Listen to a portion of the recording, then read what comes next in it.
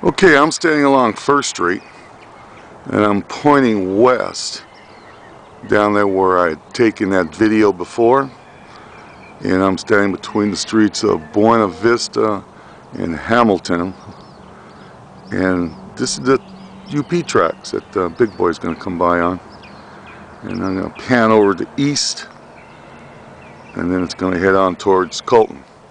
Right now it's 8.35 so got a lot of time before uh, the big boy comes, but I always got to be prepared.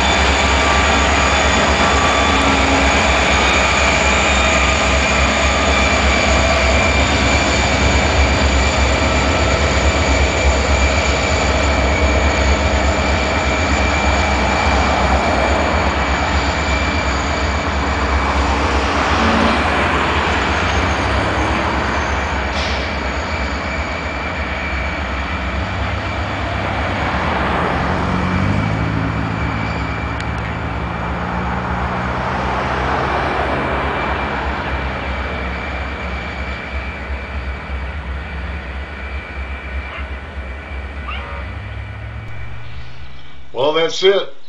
I hope you enjoyed the videos that I put up and stuff, and it's been a lot of fun. I've done this kind of thing in the past, but it was mostly with buildings, historical buildings here in Pomona. I just camp out in front of the place more or less and take videos and pictures and, as they go on. But this one is different.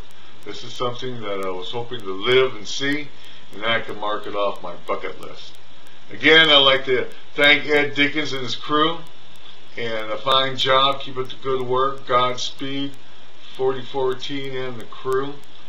And I just hope somebody will pick this up after it leaves Colton. Uh, you know, going up the pass and all the way. I know UP will. UP will. And uh, but anyway, again, thanks again. And uh, the journey has just begun for the big boy 4014. And like always, you take care. You take care of those ones you love. Thank you. Thank you very much.